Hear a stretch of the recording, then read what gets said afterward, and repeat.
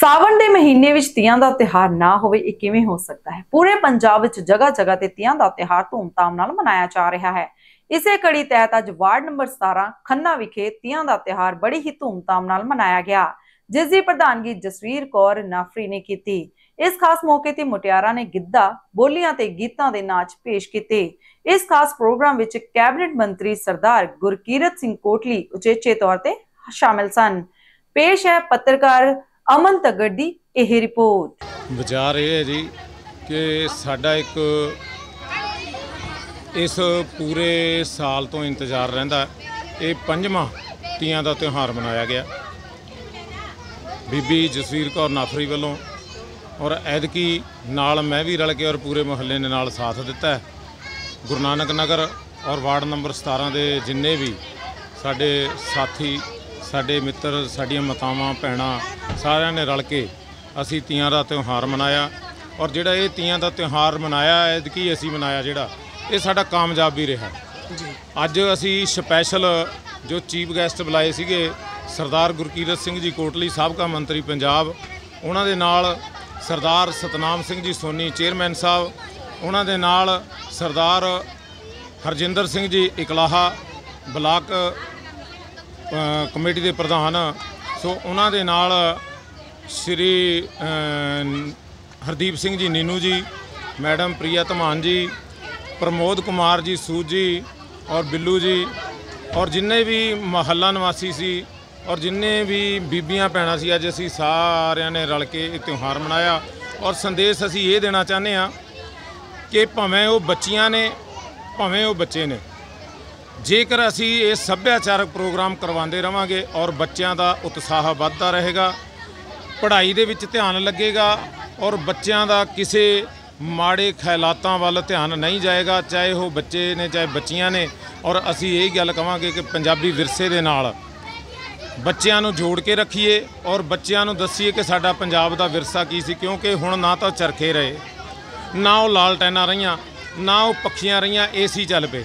ਇਸ ਕਰਕੇ ਅਸੀਂ ਆਪਣਾ ਵਿਰਸਾ ਯਾਦ ਕਰਾਉਣ ਦੇ ਮਾਰੇ ਇਹ ਤੀਆਂ ਦਾ ਤਿਉਹਾਰ ਮਨਾਇਆ ਔਰ ਜਦੋਂ ਤੱਕ ਅਸੀਂ ਜਿਉਂਦੇ ਰਹੇ ਇਹ ਤੀਆਂ ਦਾ ਤਿਉਹਾਰ ਐਦਾਂ ਹੀ ਮਨਾਉਂਦੇ ਰਵਾਂਗੇ। ਸੋ ਵਾਹਿਗੁਰੂ ਜੀ ਕਾ ਖਾਲਸਾ ਸੋ ਵਾਹਿਗੁਰੂ ਜੀ ਕੀ ਫਤਿਹ। ਮੈਮ ਜਿਹੜਾ ਤੁਸੀਂ ਪ੍ਰੋਗਰਾਮ ਕਰਾਇਆ ਸੀ ਤੀਆਂ ਦਾ ਪ੍ਰੋਗਰਾਮ ਕਰਾਇਆ ਸੀ ਜੇ ਮੈਂ ਗੱਲ ਕਰਾਂ ਪੰਜਾਬੀ ਵਿਰਸੇ ਦੀ ਤਾਂ ਉਹ ਬੜਾ ਆਪਾਂ ਕਹਿੰਦੇ ਲੋਕ ਨੇ ਜਿਹੜੇ ਬੱਚੇ ਨੇ ਭੁੱਲਦੇ ਜਾ ਰਹੇ ਨੇ। ਅੱਜ ਤੁਹਾਨੂੰ ਕੀ ਰਿਸਪੌਂਸ ਮਿਲਿਆ? ਇੱਥੇ ਆਏ ਸੀ ਲੋਕ ਆਏ ਸੀ ਤੀਆਂ ਦੇ ਵਿੱਚ? ਹਾਂਜੀ ਬਹੁਤ ਆਏ। ਬਹੁਤ ਬੱਚੇ ਆਏ ਆ ਬੱਚਿਆਂ ਨੂੰ ਸਿਖਾ ਰਹੇ ਆ ਵੀ ਪੰਜਾਬੀ ਵਿਰਸਾ ਕਿਆ ਹੁੰਦਾ। ਪਿੱਛੇ ਤੋਂ ਹੁਣ ਅਲੋਪ ਹੁੰਦਾ ਜਾ ਰਿਹਾ, ਪੰਜਾਬੀ ਵਿਰ- ਵਿਰਸਾ ਕਿਸੇ ਨੂੰ ਪਤਾ ਨਹੀਂ ਹੈ। ਤੇ ਆਹ ਦੇਖੋ ਸਾਰਾ ਜੋ ਚਰਖਾ, ਚੱਕੀ ਆ ਲਾਈਟਣਾ ਕੀ ਹੁੰਦੀਆਂ ਸੀ ਸਮੇਂ ਦੇ, ਪਿਛਲੇ ਸਮੇਂ ਦੇ ਵਿੱਚ। ਲਾਈਟ ਨਹੀਂ ਸੀ ਹੁੰਦੀ ਲਾਈਟਣਾ ਹੁੰਦੀਆਂ ਸੀਗੀਆਂ। ਚਰਖਾ ਹੁੰਦਾ ਸੀਗਾ, ਖੁਦ ਆਪ ਕੱਤ ਕੇ ਆਪਣਾ ਬਣਾ ਕੇ ਦਰੀਆਂ ਬਣਾਉਂਦੀਆਂ ਸੀਗੀਆਂ ਬੀਬੀਆਂ ਸਾਡੀ ਉਮਰ ਦੇ ਵਿੱਚ। ਆਪ ਦਰੀਆਂ ਬਣਾਉਂਦੀਆਂ ਸੀ ਤੇ ਆਪਣਾ ਸੂਤ ਕੱਤ ਕੇ। ਹੁਣ ਕਿਸੇ ਨੂੰ ਪਤਾ ਹੀ ਨਹੀਂ ਹੈਗਾ ਇਹਨਾਂ ਚੀਜ਼ਾਂ ਦਾ। ਆ ਚੱਕੀ ਆ ਬੀਬੀਆਂ ਸਾਡੀਆਂ ਆਪ ਆਟਾ ਪੀਸ ਕੇ ਉਸ ਸਮੇਂ ਦੇ ਵਿੱਚ ਆਪ ਆਟਾ ਪੀਸਦੀਆਂ ਸੀ ਤੇ ਸ਼ਾਮ ਨੂੰ ਆਪਣਾ ਰੋਟੀ ਪਾਣੀ ਬਣਾਉਂਦੀਆਂ ਸੀਗੀਆਂ। ਅੱਜ ਕੱਲ ਕੀ ਤੁਸੀਂ ਜਿਹੜਾ ਤੀਆਂ ਦਾ ਤਿਹਾਰ ਆ ਕੀ ਉਹ ਹਰ ਸਾਲ ਮਨਾਉਂਦੇ ਹਾਂਜੀ ਮੈਂ ਆਪਣੇ ਸਾਲ 19 ਤੋਂ ਮਨਾ ਰਹੀ ਹਾਂ 5 ਸਾਲ ਹੋ ਗਏ।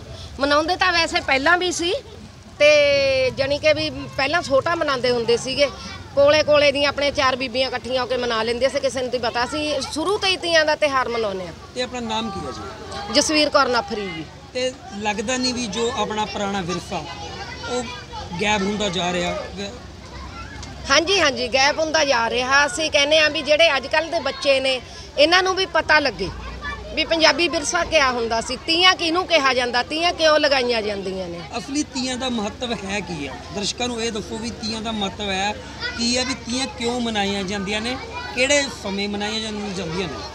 ਅਸਲੀ ਤੀਆਂ ਦਾ ਮਹੱਤਵ ਇਹ ਆ ਵੀ ਅੱਗੇ ਜਦੋਂ ਕਿ ਤੀਆਂ 'ਚ ਵਿਆਹ ਕ- ਅੱਗੇ ਜਦੋਂ ਕਿ ਕੁੜੀਆਂ ਦੇ ਵਿਆਹ ਹੁੰਦੇ ਸੀ ਨਾ ਜਦੋਂ ਸੌਣ ਚੜਦਾ ਸੌਣ ਦੇ ਵਿੱਚ ਕੀ ਹੁੰਦਾ ਸੀ? ਜਦੋਂ ਮ, ਸੌਣ ਚੜਦਾ ਸੀ ਕੁੜੀ ਨੂੰ ਆਪਣੇ ਪੇਕੀ ਲੈ ਕੇ ਆਉਂਦੇ ਸੀ ਉਹਨੂੰ ਸੱਸ ਦੇ ਮੱਥੇ ਨਹੀਂ ਸੀ ਲੱਗਣ ਦਿੰਦੇ। ਜੀ। ਸੌਣ ਚੜਨ ਤੋਂ ਪਹਿਲਾਂ ਪਹਿਲਾਂ ਲੈ ਆਉਂਦੇ ਸੀਗੇ। ਉਸ ਤੋਂ ਬਾਅਦ ਚ ਫਿਰ ਇੱਕ ਮਹੀਨਾ ਪੇਕੇ ਰਹਿੰਦੀ ਸੀ। ਫਿਰ ਤੀਆਂ ਲੱਗਦੀਆਂ ਸੀਗੀਆਂ, ਤੀਆਂ ਤੀਜ ਸੌਣ ਕਿਹਾ ਗਿਆ ਤੀਆਂ ਤੀਜ ਦੀਆਂ ਭਾਦੋਂ ਦੇ ਮਕਲਾਵੇ। ਤੀਆਂ ਤੀਜ ਦੀਆਂ ਭਾਦੋਂ ਦੇ ਮਕਲਾਵੇ, ਤੀਆਂ ਤੀਜ ਦੀਆਂ ਭਾਦੋਂ ਦੇ ਮਕਲਾਵੇ, ਤੀਆਂ ਤੀਜ ਦੀਆਂ ਸੌਣ ਵੀਰ ਇਕੱਠੀਆਂ ਕਰੇ, ਭਾਦੋਂ ਚੰਦਰੀ ਬਸੋੜੇ ਪਾਵੇ। ਸੌਣ ਵੀਰ ਇਕੱਠੀਆਂ ਕਰੇ ਪਾਦੋ ਚੰਦਰੀ ਬਸੋੜੇ ਪਾਵੇ। ਫਿਰ ਉਸ ਤੋਂ ਬਾਅਦ ਚ ਸਹੁਰੇ ਹੁੰਦੇ ਸੀ ਜਿਹੜੇ ਉਹ ਸੰਧਾਰਾ ਲੈ ਕੇ ਆਉਂਦੇ ਸੀ ਕੁੜੀ ਦਾ। ਉਹ ਲੱਜ ਵੀ ਲੈ ਕੇ ਆਉਂਦੇ ਸੀ ਫੱਟੀ ਵੀ ਲੈ ਕੇ ਆਉਂਦੇ ਸੀ ਕੱਪੜਾ ਲੀੜਾ ਵੀ ਲੈ ਕੇ ਆਉਂਦੇ ਸੀ ਜੋ ਜੋ ਰੀਤੀ ਰਿਵਾਜ ਸੀ। ਸਹੁਰਿਆਂ ਵੱਲੋਂ ਸੰਧਾਰਾ ਆਉਂਦਾ ਤੇ ਫਿਰ ਉਸ ਤੋਂ ਬਾਅਦ ਚ ਪਹਿਲਾ ਸੌਣ ਜਣੀ ਕਿ ਸੱਸ ਦੇ ਮੱਥੇ ਨਹੀਂ ਸੀ ਲੱਗਣ ਦਿੰਦੇ। ਜੀ। ਇਹ ਰੀਤੀ ਰਿਵਾਜ ਸੀ ਉਸ ਤੋਂ ਤੀਆਂ ਤਾਂ ਤੁਹਾਨੂੰ ਸਾਰੇ ਵੈਸੇ ਜਿਹੜੇ ਜਿੰਨੇ ਪੁਰਾਣੇ ਬਜ਼ੁਰਗ ਨੇ ਪਤਾ ਹੀ ਆ ਵੀ ਤੀਆਂ ਦੇ ਵਿੱਚ ਕੀ ਕੀ ਹੁੰਦਾ ਸੀਗਾ। ਦੇਖੋ ਜਿਉਣੇ ਮੌੜ ਜੀ ਵੀ ਆਉਂਦੇ ਸੀ। ਤੀਆਂ ਦੇ ਵਿੱਚ ਅੱਜ ਕੱਲ ਹੁਣ ਮੁੰਡਾ ਖੁੰਡਿਆਂ ਨੂੰ ਨਹੀਂ ਪਤਾ ਇਹਨਾਂ ਚੀਜ਼ਾਂ ਦਾ। ਤੀਆਂ ਬਹੁਤ ਵੱਡਾ ਜਾਣੀ ਕਿ ਇਹ ਰੀਤੀ ਰਿਵਾਜ ਤੇ ਤਿਹਾਰ ਧੀਆਂ ਲਈ ਮਨਾਇਆ ਗਿਆ। ਦੁਨੀਆ ਨੂੰ ਕੀ ਮੈਸੇਜ ਦੇਣਾ ਚਾਹੁੰਦੇ ਹੋ? ਵੀ ਜਿਹੜਾ ਪੁਰਾਣਾ ਵਿਰਸਾ ਆਪਣਾ ਗੁੰਮਦਾ ਜਾ ਰਿਹਾ ਖੋਇਆ ਜਾ ਰਿਹਾ ਆਪਾਂ ਭੁੱਲਦੇ ਜਾ ਰਹੇ ਹਾਂ। ਉਹਨੂੰ ਸੰਭਾਲਣ ਵਾਸਤੇ ਆਪਾਂ ਨੂੰ ਕੀ ਯਤਨ ਲੋਕਾਂ ਨੂੰ ਕੀ ਯਤਨ ਕਰਨੇ ਚਾਹੀਦੇ ਨੇ? ਅਸੀਂ ਮੈਂ ਇਹੀ ਸੁਨੇਹਾ ਦੇਣੀਆਂ ਦੇਣਾ ਚਾਹੁੰਦੀ ਆ ਮੇਰੀਆਂ ਭੈਣਾਂ ਨੂੰ ਵੀ ਜਿਹੜਾ ਇਹ ਤੀਆਂ ਦਾ ਤਿਹਾਰ ਆ, ਇਹ ਤੁਸੀਂ ਮਨਾਓ, ਹਰ ਸਾਲ ਮਨਾਓ। ਸਾਉਣ ਦੀ ਜਦੋਂ ਕਿ ਤੀਜ ਆਉਂਦੀ ਆ, ਤੀਜ ਨੂੰ ਲਾ ਕੇ ਤੀਆਂ, ਟਾਈਮ ਆ ਤਾਂ 15 ਦਿਨ ਤੀਆਂ ਚੱਲਦੀਆਂ ਸੀ ਅੱਗੇ। ਟਾਈਮ ਆ ਤਾਂ 15 ਦਿਨ ਵੀ ਆਪਾਂ ਲਗਾ ਸਕਦੇ ਆ ਨਹੀਂ 15 ਦਿਨ ਟਾਈਮ ਇੱਕ ਦਿਨ ਲਗਾ ਕੇ ਉਸ ਦਿਨ ਹੀ ਵਿਦਾ ਕਰ ਲਓ। ਤੀਆਂ ਲਗਾਓ, ਵਿਰਸਾ ਜਣੀ ਪੰਜਾਬੀ ਹੌਲੀ ਹੌਲੀ ਹੌਲੀ ਹੌਲੀ ਜਿਵੇਂ ਕਹਿੰਦੇ ਨੇ, ਕਲਯੁਗ ਤੋਂ ਸਤਯੁਗ ਆਊਗਾ। ਜੇ ਸਤਯੁਗ ਤੋਂ ਕਲਯੁਗ ਆ ਚੁੱਕਿਆ ਨਾ ਤਾਂ ਕਲਯੁਗ ਤੋਂ ਸਤਯੁਗ ਵੀ ਆਊਗਾ। ਜੇ ਇਦਾਂ ਪੁਰਾਣਾ ਇਹ ਵਿਰਸਾ ਹੌਲੀ ਹੌਲੀ ਹੌਲੀ ਸਾਡੀਆਂ ਇਹ ਬੇਟੀਆਂ ਨੂੰ ਸਾਡੀਆਂ ਬੀਬੀਆਂ ਭੈਣਾਂ ਨੂੰ ਜੋ ਪਤਾ ਲੱਗੇ। ਮੈਂ ਇਹੀ ਸੰਦੇਸ਼ ਮੇਰੀਆਂ ਸਾਰੀਆਂ ਭੈਣਾਂ ਨੂੰ ਦੇਣਾ ਚਾਹੁੰਦੀ ਆ ਵੀ ਤੁਸੀਂ ਪੰਜਾਬੀ ਵਿਰਸੇ ਨੂੰ ਨਾ ਭੁੱਲੋ ਨਾ ਭੁੱਲੋ। ਆ ਦੇਖੋ ਪਰ ਪੰਜਾਬੀ ਵਿਰਸੇ ਦਾ ਮੈਂ ਸਾਰਾ ਸਮਾਨ ਰੱਖਿਆ ਹੋਇਆ। ਕਿਵੇਂ ਲਿਆਂਦਾ ਕਿਵੇਂ ਇਕੱਠਾ ਕਰਿਆ। ਕਿੰਨੇ ਸਾਲ ਤੋਂ ਅੰਦਰੋਂ- ਤੁਸੀਂ ਸੇਵਾ ਕਰਦੇ ਹੋ ਪੰਜਾਬੀ ਵਿਰਸੇ ਦੀ? ਦੇਖੋ, ਪੰਜਾਬੀ ਵਿਰਸੇ ਦੀ ਤਾਂ ਮੈਂ ਘੱਟੋ ਘੱਟ ਮੈਨੂੰ 55 57 ਸਾਲ ਹੋ ਗਏ ਨੇ। ਜਿਸ ਦਿਨ ਦੀ ਮੈਂ ਸਮਝ ਲਓ ਵੀ ਛੋਟੀ ਹੁੰਦੀ ਹੋ ਜਿਵੇਂ ਹੁਣ ਮ- ਛੋਟੇ ਛੋਟੀਆਂ ਬੱਚੀਆਂ ਨੱਚੀਆਂ ਨੇ ਐਦਾਂ ਹੀ ਛੋਟੇ ਹੁੰਦੇ ਹੀ ਸਾਨੂੰ ਚਾਅ ਸੀਗਾ। ਛੋਟੇ ਹੁੰਦੇ ਹੁੰਦੇ ਹੁੰਦੇ ਹੁੰਦੇ ਤੀਆਂ ਲੱਗਦੀਆਂ ਹੁੰਦੀਆਂ ਸੀਗੀਆਂ, ਬਰੋਟਿਆਂ ਤੇ ਤੀਆਂ ਲੱਗਦੀਆਂ ਸੀ ਤੇ ਬ- ਪੀਂਘਾਂ ਪੈਂਦੀਆਂ ਸੀ। ਹੁਣ ਜਾਣੀ ਹੌਲੀ ਹੌਲੀ ਹੌਲੀ ਚਲੋ ਜਦੋਂ ਵਿਆਹੀਆਂ ਜਾਂਦੀਆਂ ਨੇ ਕੁੜੀਆਂ, ਪਰ ਅੱਜ ਵੀ ਸਾਡੇ ਅੰਦਰ ਉਨਾ ਹੀ ਸ਼ੌਂਕ ਆ।